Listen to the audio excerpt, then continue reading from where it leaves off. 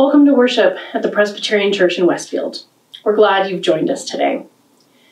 Today we are continuing with our worship series, Do, where we examine events from Jesus' early ministry and consider how those events in Christ's life call us to action today. Let us now worship God together.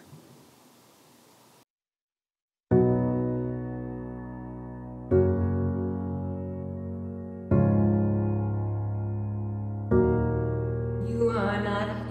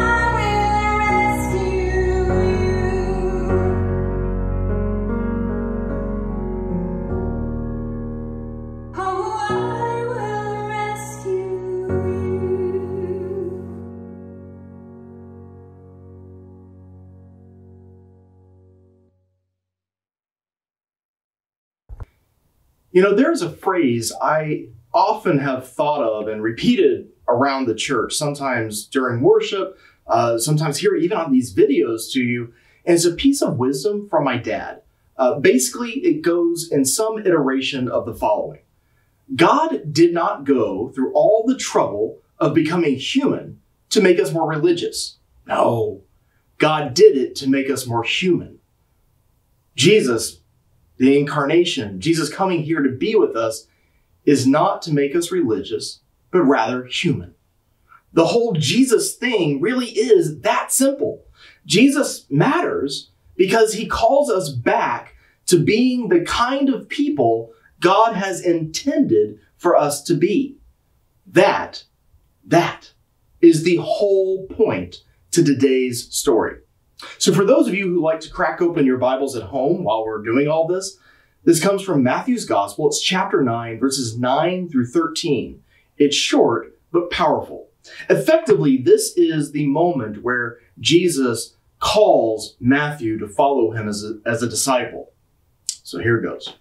As Jesus was walking along, he saw a man called Matthew sitting at the tax booth, and he said to him, Follow me.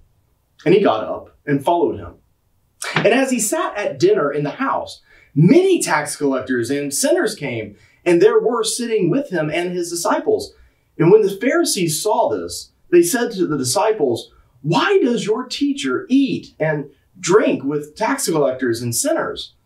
But when he heard this, he said, Those who are well have no need for a physician, but those who are sick. Go and learn what this means. I desire mercy, not sacrifice. For I have come to call not the righteous, but the sinners. All right. In this story, the Pharisees jump right out at me. I, I, I feel sorry for them. They tie themselves up into these little knots to get it right. And it seems that they have to play this weird game of measuring who's in versus who is out of God's favor to even feel okay about themselves. So much of their energy is spent naming who is wrong or who is unrighteous or who is sinful. And one thing that always gets me is their really complicated relationship with Jesus himself. Now, the Pharisees throughout the New Testament are drawn to Jesus. There's, there's something about Jesus that is like a magnet or a light to, you know, of a flame for moths. There's something about his teachings that they love. But then he does things that they know are not okay.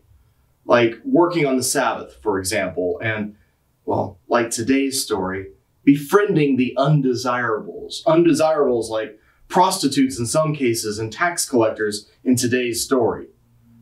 And this has always struck me as odd. You know, you have this weird dynamic playing out with the tax collectors being this group that abuses power for own personal gain. And when Jesus goes to sit with them, yes, they're kind of pushed out on the societal margins because nobody likes them, but it's really this weird dynamic that they have with power that makes them need grace, to need mercy, to need exactly what Jesus says he's there to do.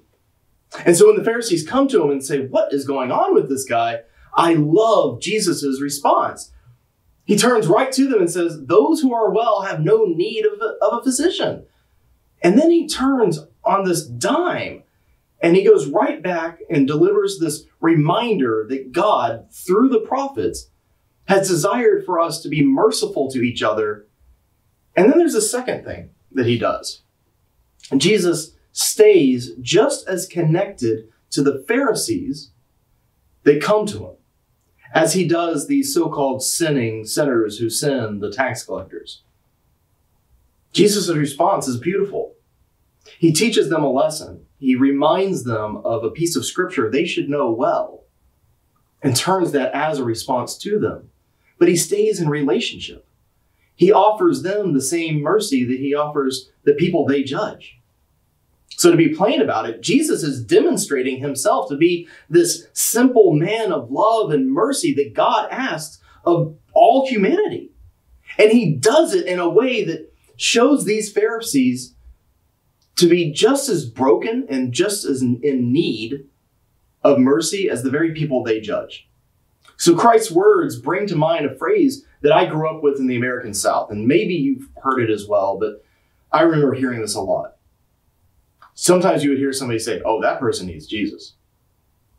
Well, I also heard the refrain that came with that in church that everybody needs Jesus. Thinking about the South, I recall a lot of really complicated relationships. I mean, I have beloved members of my family and, and even others that probably could only be seen as bigots. Most of them are from a different generation, but it doesn't smooth anything over. It's a complicated relationship. I love the food of the South, our music, I love our art, I love our traditions, I love our culture, but it's complicated. And one example that I, I, I kind of want to share with you today comes from music. I love the band Lynyrd Skynyrd. I have to admit that. There, I feel better getting that off my chest.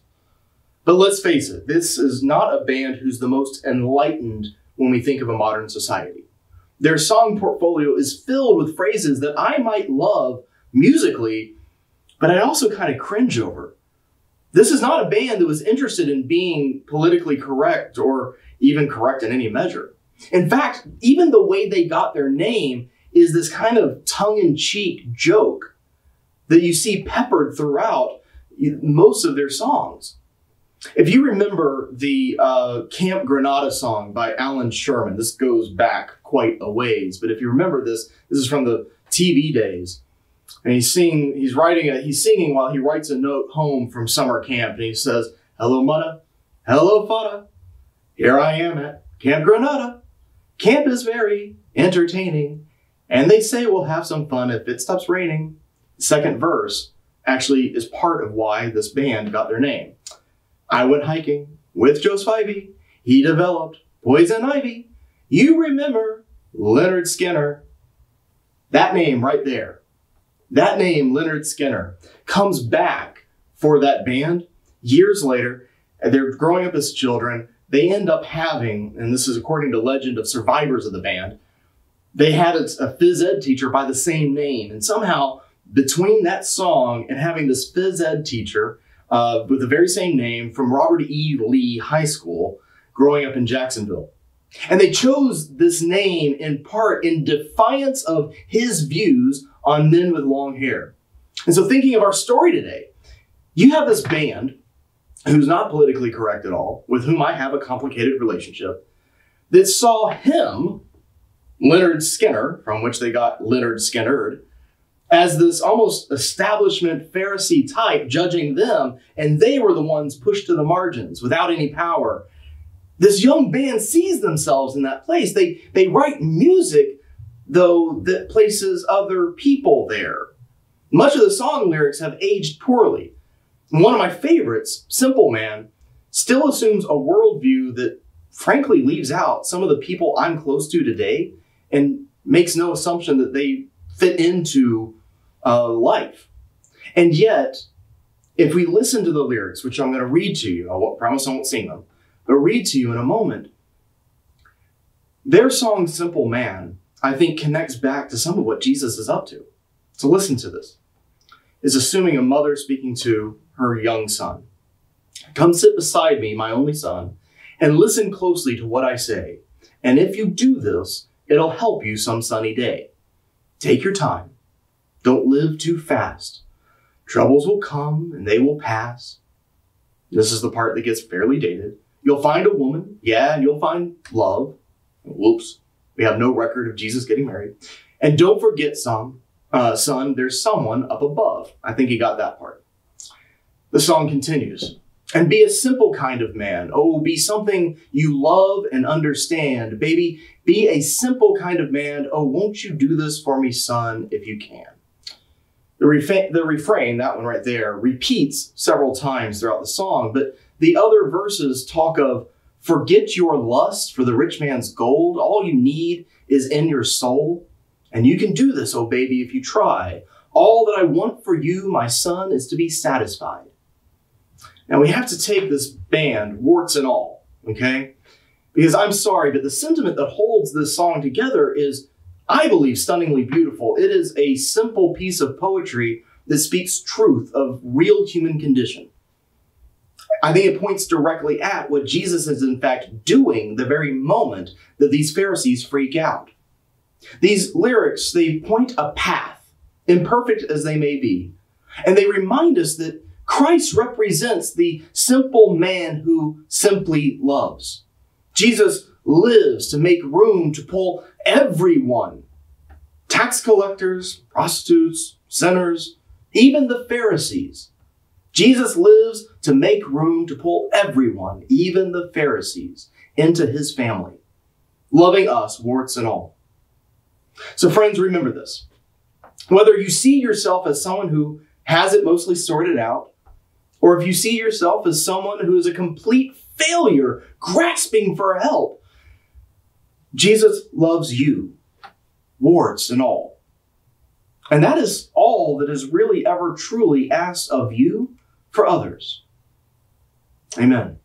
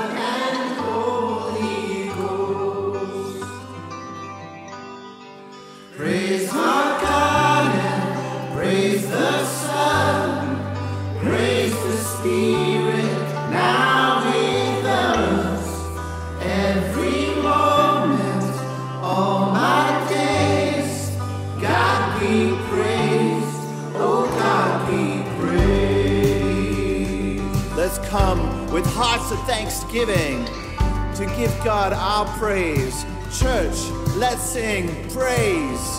Praise God with breaking light.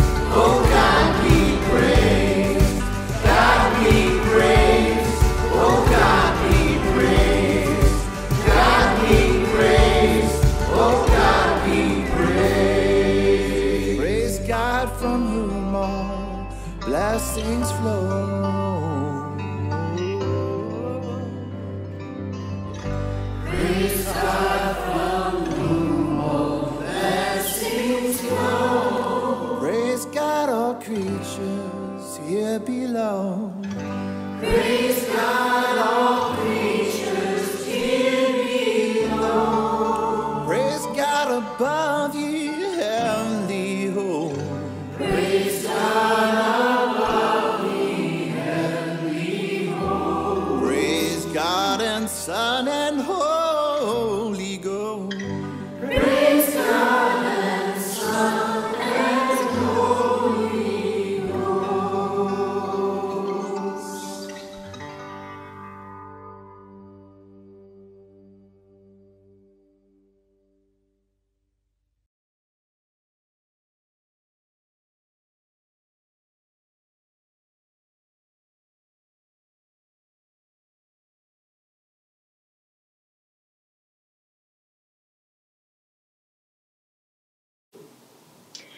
As we prepare to enter into a time of prayer together, if you have a joy or concern that you would like the staff to know about or to be added to our prayer list, please feel free to contact one of the pastors or the office. Let us now go to God in prayer. God who leads us, we seek to follow you in our lives, but so often we get distracted, lose our way, or purposefully choose to wander. We thank you that even in those times when we get a little or even a lot lost, that you never stray from us, always loving us and showing us the way back to you. We praise you for the people and situations in this world that show us that love and the opportunities that we have to be an example of love to other people. Give us the strength and courage to step into those moments and own our place as your children, to be a shining light in this world. God of compassion, we lift up situations in our lives and in our communities that are hard to face. We pray for those who are dealing with divorce and separation, who may be mourning the loss of an ideal or a family, for those who are having to find new ways of existing after normalcy is gone. We lift up the communities in California who have recently been victims of senseless gun violence, and all others who face situations where guns and violence are an everyday presence. We pray for people who have received news from doctors that is upsetting, knowing that even when there are clear answers, that it doesn't necessarily mean something can be done or fixed or cured. Guide those who are having to care for friends and family through sickness and injury, that they can be supportive and understanding, but also encouraging and resilient when needed. God of justice, every day we see the results of oppression, racism, sexism, greed, and power in our society how those actions tear apart the community and the family of God, how we struggle to recognize your face in the face of others who we see as different. Change our perspective, challenge our understanding, and put us in situations where we can learn about others. Soften our hearts in order that we might seek understanding of your children, seeing that we are all loved and cherished by you valued for the individuals that we are, but also that each of us represents an embodiment of the holy on this earth. Creative God, we praise you for the beauty and mystery of the world around us. We thank you for the rain and for the sun, both needed for life to exist, and each other with their own benefits. We thank you for delicious food and fun things that bring us laughter we thank you for smiles on the faces of children and opportunities to be with each other in the same place. We shout your glory to all the earth and whisper your praise in our quiet prayers. We pray all of these things in the name of Christ, sealing them with the prayers on our hearts and minds as we pray the prayer that he taught us, saying, Our Father, who art in heaven, hallowed be thy name. Thy kingdom come, thy will be done, on earth as it is in heaven. Give us this day our daily bread, and forgive us our debts as we forgive our debtors. And lead us not into temptation, but deliver us from evil. For thine is the kingdom, and the power, and the glory forever. Amen.